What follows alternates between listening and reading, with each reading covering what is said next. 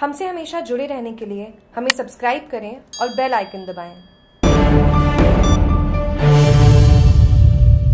पाली जिला कलेक्टर अंशदीप व पुलिस अधीक्षक कालूराम रावत ने शनिवार को सोजत रोड कस्बे का दौरा कर लॉकडाउन व कर्फ्यू की व्यवस्थाओं का जायजा लिया। उन्होंने मुख्य बाज़ार चौराहे से भूषण मार्ग पर पैदल मार्च कर लॉकडाउन व कर्फ्यू की पूर्ण पालना करने के निर्देश दिए। इस मौके सोजत उपखंड अधिकारी Daulat Ram Chaudhary, Sojat DYSP doctor Hemant Kumar Jakhar, Sojat road थाना अधिकारी सीमा जाखड़ व पुलिस जाब्ता साथ रहा।